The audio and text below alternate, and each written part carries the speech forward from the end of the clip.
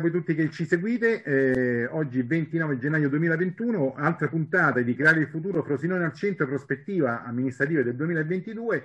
Come di consueto abbiamo Pierpaolo Segneri, regista, scrittore e presidente dell'associazione Frosinone al centro e oggi come ospite diciamo tra gli ospiti variabili delle varie forze politiche che si avvicendano eh, Giuseppe Scaccia, commissario di Forza Italia a Frosinone se non erro dal 2016, già consigliere e assessore comunale appunto in questa cittadina che nel 2022 eh, si appresta appunto a un appuntamento eh, elettorale per, per, il sindaco e il, chiaramente il consiglio. Eh, come appunto negli altri appuntamenti eh, il nostro interesse è soprattutto per quanto riguarda ehm, la selezione dei candidati eh, a questo appuntamento elettorale e quindi il dibattito che in qualche modo anticipa e precede la eh, campagna elettorale. Di questo parliamo, io do subito la parola a Pierpaolo Segneri che farà gli onori di casa come di consueto, diciamo. A te Pierpaolo e ringraziamo ovviamente Giuseppe Scaccia di essere qui su Libri TV. Grazie eh, Gianni, eh, ringrazio anch'io Giuseppe Scaccia eh, anche nelle scorse eh, puntate, nei vari dibattiti, una cosa che come associazione Frosinone al Centro abbiamo voluto sottolineare è che eh, per noi le persone vengono prima dei programmi eh, e tutto quello che riguarda l'aspetto programmatico, che è un elemento che emerge poi durante la fase elettorale e di presentazione dei candidati e ovviamente eh, delle liste che sostengono questi candidati. Per noi il punto di partenza sono le persone perché le idee camminano sulle gambe delle persone e quindi mh, vogliamo ridare centralità alla, alla, qualità, alla capacità, alle caratteristiche eh, umane e rimettere al centro la politica. Ecco perché eh, già eh, in altre occasioni avevo ripreso il discorso delle elezioni primarie per la selezione del candidato sindaco. Il, il sindaco a Frosinone si elegge per via diretta, cioè eh, si, c'è il meccanismo, diciamo, all'americana per cui i sindaci ormai dal 1993 in Italia vengono eletti direttamente dai cittadini non come succedeva prima. Quindi è la persona che è al centro. Ovviamente ci sono delle liste dei partiti, dei movimenti che sostengono il candidato, ma è il candidato che incarna e impersonifica eh, il, il, programma. Uno eh, ai tempi di, del sindaco Paolo Fanelli, no? eh, Giuseppe Scaccia è stato assessore in quella giunta, eccetera Ebbene, Fanelli, eh, le persone dicevano, e questo è il programma di Fanelli, non dicevano il programma di Forza Italia, Alleanza Nazionale, CCD, capito? È il candidato, la persona che in questo modo eh, si presenta con le idee e con quella prospettiva del futuro che vuole per la città. Ecco perché le elezioni primarie. Le elezioni primarie rimettono proprio al centro la persona, il candidato, con le proprie idee e all'interno di una coalizione ci possono essere diversi candidati che non è detto che abbiano tutti lo stesso programma. Cioè l'associazione Frosinone al centro vuole ribaltare completamente quello che si va dicendo e vado leggendo, per cui prima si preparano i programmi prima si preparano le cose e poi troviamo il candidato. Troviamo che poi non si capisce chi lo deve trovare, le segreterie di partito forse. Beh, noi dell'associazione Frosinone al Centro vogliamo invece spingere, continuiamo a spingere perché sia il centrodestra Frosinone sia il centrosinistra facciano per le prossime elezioni amministrative prima delle elezioni primarie. A tal proposito, eh, proprio domenica 24 gennaio eh, su questo argomento è intervenuto l'assessore eh, Fabio Tagliaferri che eh, su Ciociari Oggi eh, ha rilasciato un'intervista molto interessante. Dice così Frosinone è cambiata. Spero che pure Fabio accetti poi di parlare qui su eh, liberi.tv perché dice una cosa interessante. Da una parte fa riferimento alle elezioni primarie che il centrodestra fece nel 2017 poi casomai Giuseppe ci dice qualcosa e ci ritorneremo, ma eh, dice giustamente che, eh, leggo proprio testualmente, no? sono cresciute persone e figure tra gli assessori e i consiglieri comunali di questa consigliatura competenti dal punto di vista politico e amministrativo che hanno tutte le credenziali per poter aspirare alla candidatura a primo cittadino. Un, una grande ricchezza la, eh, da, eh, del candidato deve, essere, deve passare eh, necessariamente attraverso le elezioni primarie, attraverso una legittimazione popolare. E poi aggiunge una nota, siccome le elezioni del centrodestra la volta scorsa furono elezioni libere aperte, potevano candidarsi e votare cittadini di Frosinone anche che non facessero parte dei partiti della coalizione, che non facessero parte della coalizione, non fossero espressione dei partiti, anche come elettorato attivo, oltre che l'elettorato passivo. Cosa molto interessante. In più, libere aperte, tutti potevano partecipare, ma in più anche i ragazzi dai 16 anni in su, cosa molto bella, molto interessante. Quel, insomma, quel regolamento delle primarie del 2017 mi piacque tantissimo, poi ne parliamo. Però no, che no, dice Fabio Tagliaferri? Eh, Inoltre, non sosterrò mai la candidatura di una persona che non rientri nel novero dell'attuale maggioranza quindi non sarebbero più elezioni primarie per la città libere e aperte, perché se una persona non fosse espressione di partiti o liste civiche già presenti nella coalizione di centrodestra, eh, l'assessore Fabio Tagliaferri dice che lui non le voterebbe mai. Ecco, è interessante questa cosa. Lascio un po' così anche per creare mh, intensità nel, nel dibattito. Eccomi, eh, buonasera, un saluto anche da parte mia a tutti voi. Ha toccato diversi argomenti e ha, eh, ha creato un po' di spunti Paolo, eh, Pierpaolo per questa discussione. Innanzitutto faccio un passo indietro. Le primarie sono un'invenzione, tra virgolette, delle forze di centrosinistra, perché sono state le prime ad utilizzarle. Anche quando nel centrodestra appunto le candidature venivano scelte esclusivamente nelle sedi di partito, insomma, dei partiti principali. L'idea però a noi, a Frosinone proprio città, piacque molto, tant'è che nel 2012 organizzammo le prime primarie. Fu la prima volta che in una coalizione di centrodestra vennero fatte le primarie. Però, a differenza di quelle del 2017, delle quali stava parlando Pierpaolo, furono limitate ai soli eh, partiti del centrodestra, quindi erano solo candidati di Forza Italia, di Alleanza Nazionale, che erano gli unici due partiti poi in quel periodo, non c'erano Fratelli d'Italia e altri partiti che sono sorti successivamente. Fu una operazione titanica perché non essendo presenti in comune come, eh, come maggioranza, perché eravamo eh, opposizione, non chiedemmo l'utilizzo delle strutture comunali, quindi organizzammo in bar, locali, le sezioni, avemmo problemi per il reperimento delle liste elettorali e per cui la, eh, lo spoglio dei voti venne fatto eh, a mano, la, l'individuazione dei, eh, dei votanti venne fatto a mano. Questo portava chiaramente con liste manuali, portava chiaramente a problemi dovuti al fatto che una persona avrebbe potuto votare in più sezioni più volte nel corso della giornata falsando così il voto totale, perché non avevamo un riscontro informatico dei voti già eh, espressi. Di conseguenza, comunque, superammo questo problema dividendo la città in zone, problemi che poi nel 2017 chiaramente abbiamo superato avendo cinque anni di esperienza alle spalle e l'organizzazione chiaramente del comune stando in, in maggioranza abbiamo chiesto l'utilizzo dei eh, locali comunali, abbiamo chiesto il supporto del CED per quanto riguarda le liste elettorali, però di questo ne parliamo dopo.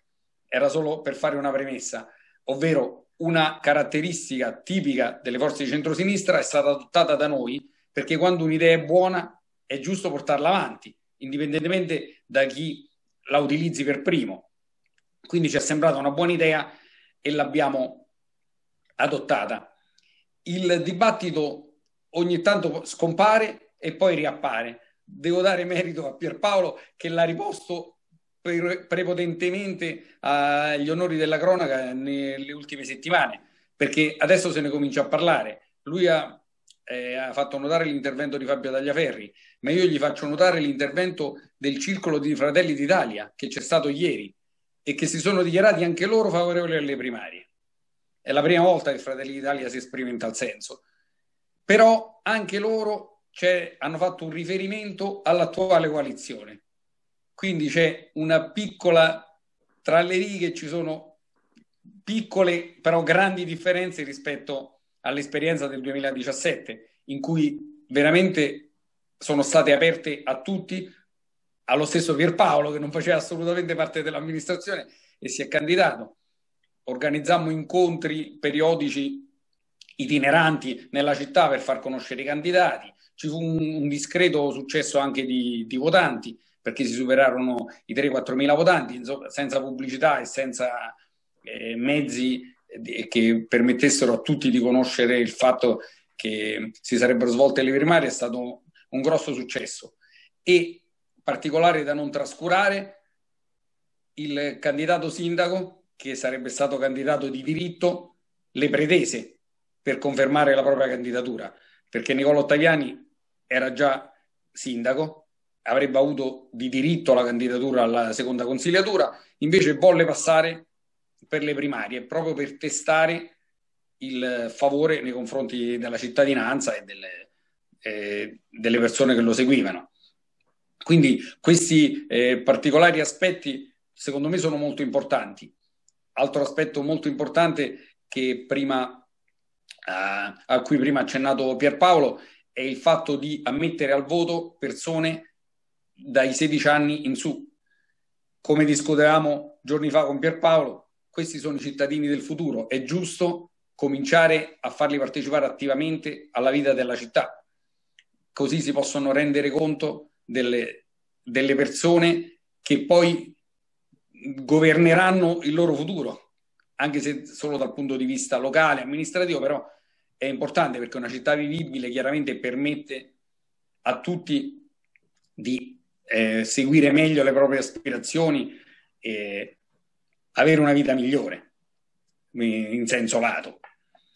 Quindi penso di aver terminato intanto la, il mio... Sì, primi, primi 5 no, minuti, d'accordo. Le, perché, no, sì, stavo vedendo un po' fra l'orologio e le cose varie per No, no, ma ci sono io qui apposta a fare... Ah, perfetto, ok, ok.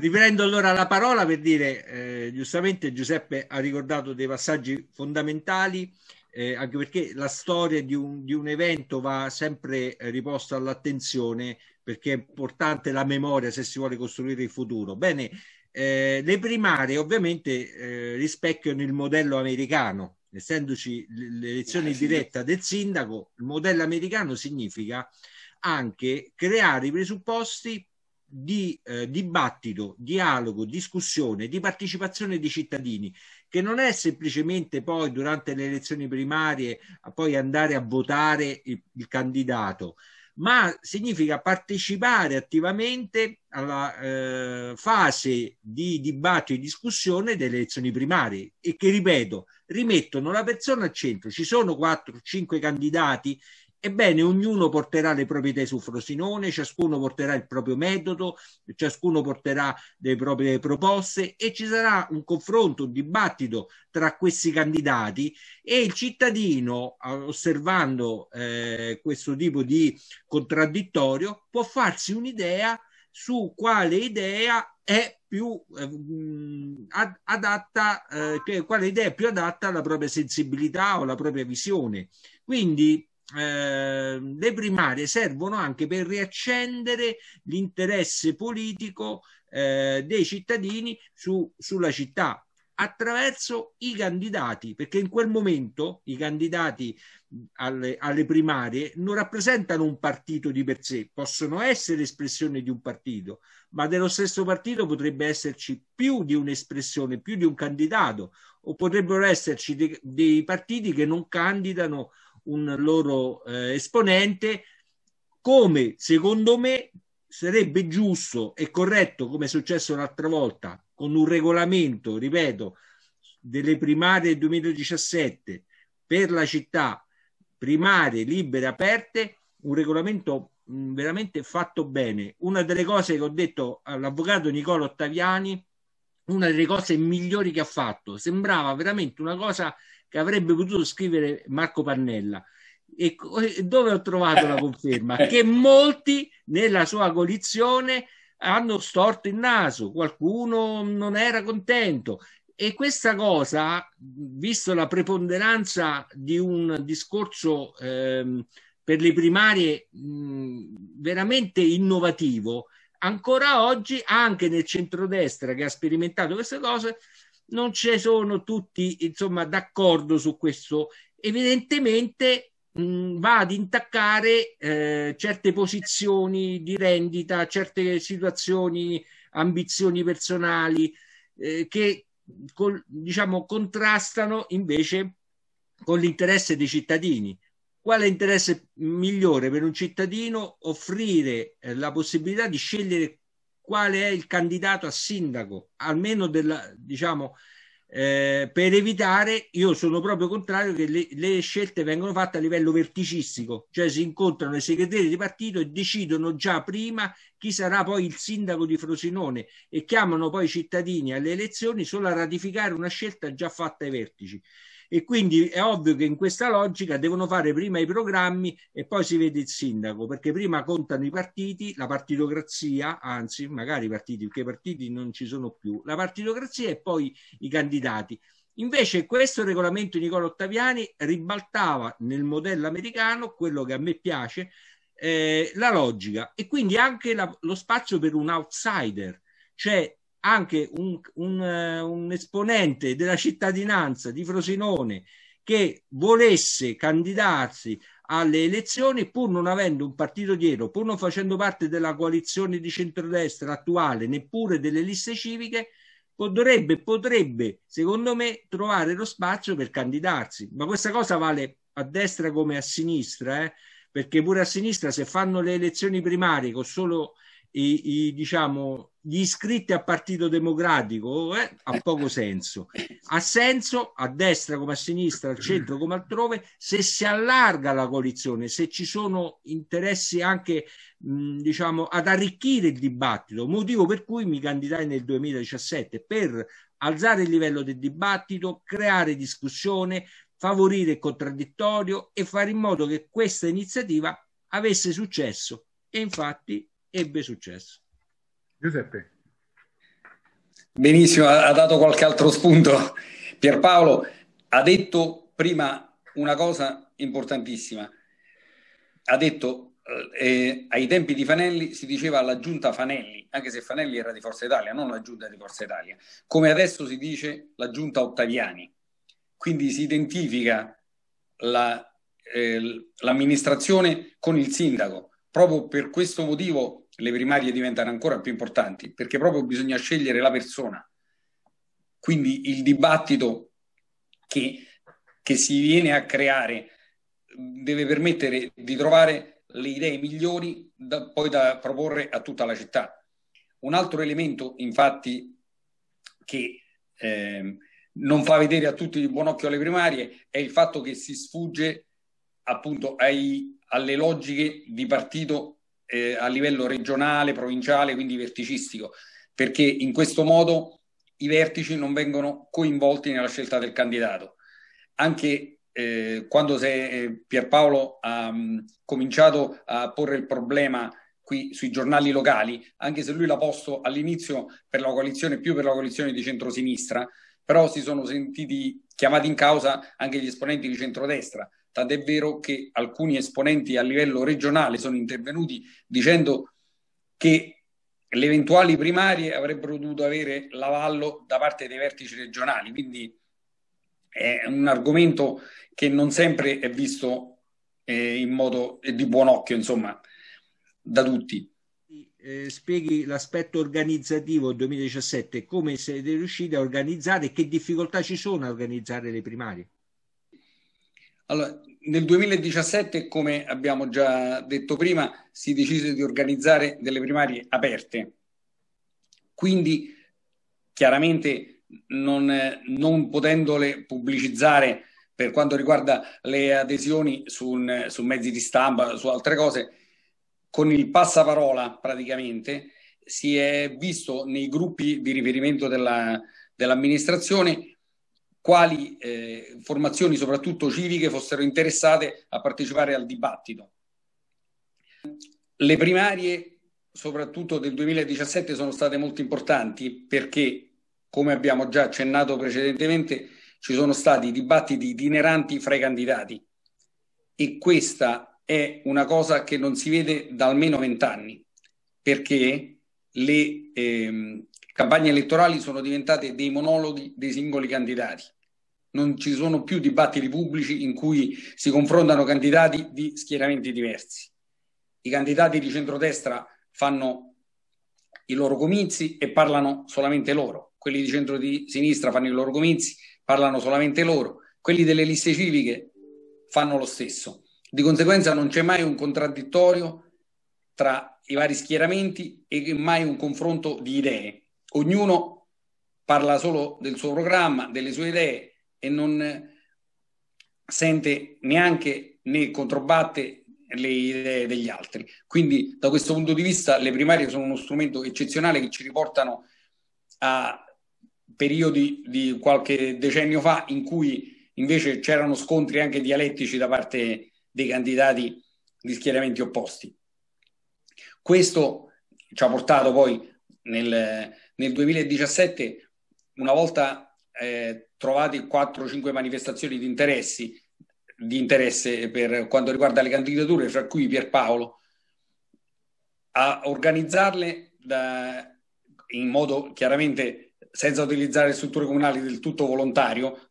Abbiamo solamente chiesto un supporto al CED per evitare il problema che dicevo che si era verificato nella, nella prima edizione delle primarie, cioè il voto ripetuto da parte dei candidati.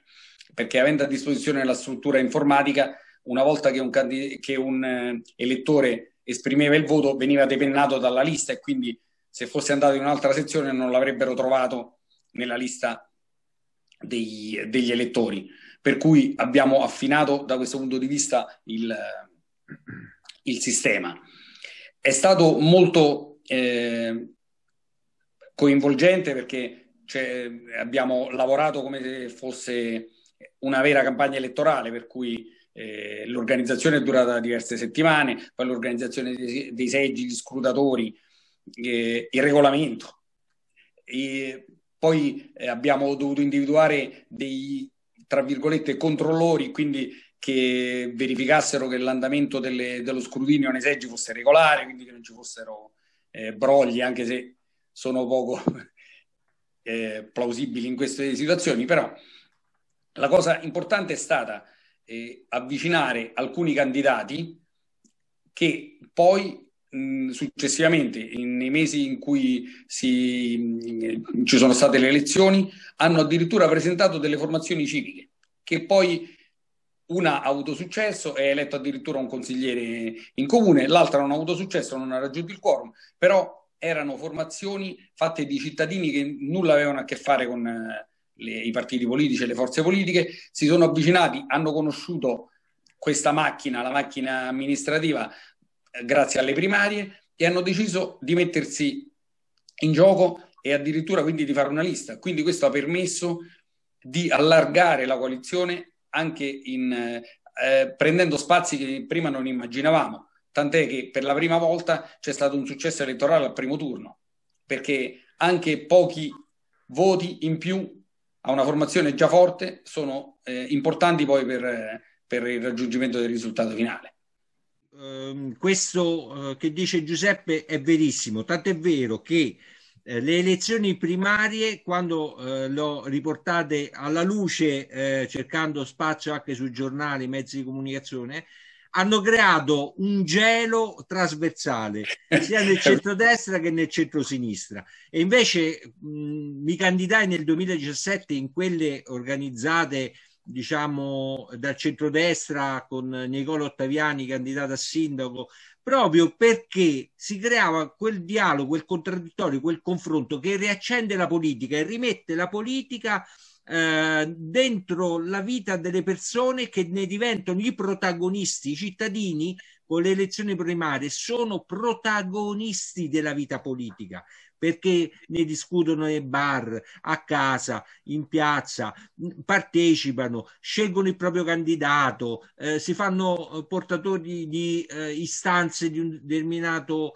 candidato e, e, si forma un percorso virtuoso di vitalità, soprattutto se, come è successo l'altra volta, possono votare anche sedicenni, diciassettenni, cioè attenzione verso gli studenti, i ragazzi. Quindi questo, questo gelo che si è creato dopo la mia proposta delle elezioni primarie eh, mi ricorda molto anche il gelo che ci fu quando nel 2017 eh, facemmo questi dibattiti con Nicola Ottaviani perché anche allora, pur eh, essendo eh, stata realizzata la macchina organizzativa delle elezioni primarie, qualcuno anche nel centrodestra mh, mm, insomma non era molto contento no? e quindi quando io vedo questo tipo di reazione capisco che invece la proposta vuol dire che è adatta, che funziona, che è la proposta giusta quando ci sono ehm, persone eh, molto attaccate al proprio potere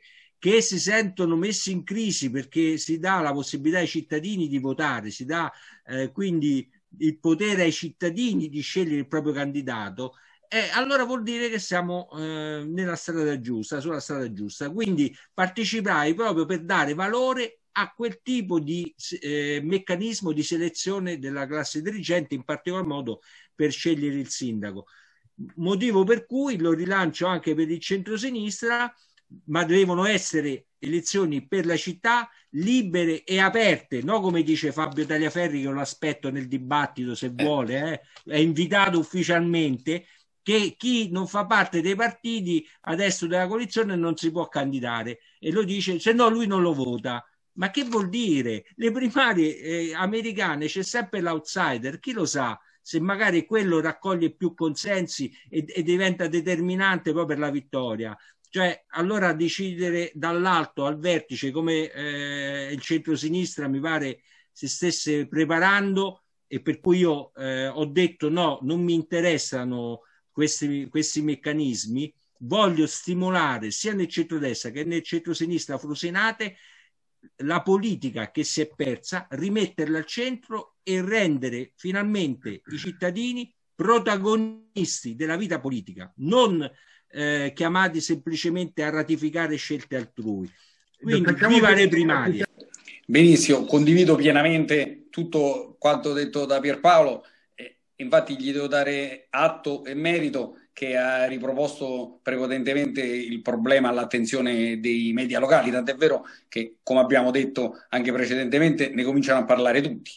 Quindi ogni partito adesso si sta esprimendo. Chiaramente il senso delle primarie è che siano aperte. Quella è la, la cosa più importante, perché fare primarie chiuse in un ambito politico è, è molto limitante, sia per... I candidati per l'aggregazione di nuove forze, sia per, eh, eh per i cittadini, perché eh, si tro- pensano di trovare, di dover scegliere sempre fra i soliti. Non, ha, non, hanno mai un volto nuovo, una faccia nuova. È chiaro che un outsider ha scarse possibilità di successo, però intanto comincia a farsi conoscere eh, dalla popolazione, a, a dire le sue idee, a, proporle e magari trova la forza per scalzare qual- qualcuno che ha maggiore esperienza politica ma meno idee. Perfetto. Chiudiamo qui questa trasmissione, questa puntata di Creare il futuro Frosinone al centro, prospettiva amministrativa 2022. Io ringrazio Pierpaolo Segneri, eh, regista, scrittore e presidente dell'Associazione Culturale Frosinone al centro e ringrazio Giuseppe Scaccia, commissario di Forza Italia a Frosinone già dal 2016 e già consigliere assessore in questa cittadina. Grazie a voi tutti che ci seguite, Aperti, apriamo l'invito a, a, chiunque altro vorrà eh, diciamo, mh, partecipare, alimentare questo confronto che comincia a avere appunto in questa sua serialità un certo successo eh, sui, su internet, viene visto, insomma eh, speriamo che sia anche diciamo, portatore di, eh, di stimolatore di un dibattito. Grazie ancora, seguiteci su Libri TV. Grazie. Grazie. Buonasera a tutti, grazie a tutti. Grazie Giuseppe.